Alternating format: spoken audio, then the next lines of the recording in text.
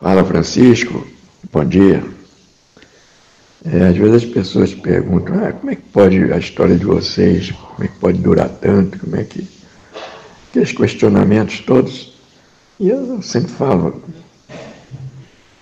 vocês todos é que mantêm viva essa história. Cada vez que você, você agora, por exemplo, você com seu amigo cantando uma música nossa, se tiver mais uma pessoa ouvindo, que seja, ela vai repercutir para mais uma. Se ela gostar, ela vai daqui a pouco pedir para outra pessoa. e a história vai indo, né?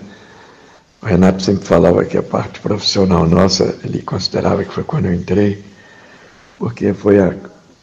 tive a sorte de pegar a projeção nacional, né? Mas é isso aí. Continue cantando, Renato Silva, a gente agradece.